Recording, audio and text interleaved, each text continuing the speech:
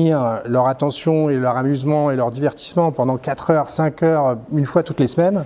eh ben, tu es obligé d'apprendre à être divertissant. Tu es obligé d'apprendre à, à, faire du suspense, tu es obligé d'apprendre à éveiller l'intérêt des gens, l'émotion, euh, à trouver